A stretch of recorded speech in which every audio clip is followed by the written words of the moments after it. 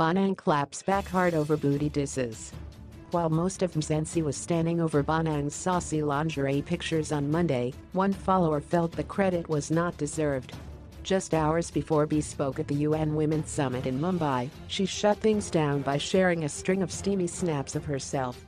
If you have no clue what we're talking about, don't sweat, we've got you covered.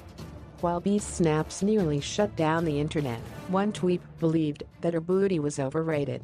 Bonang quickly set the hater straight with a stern and stinging clapback. Yeah.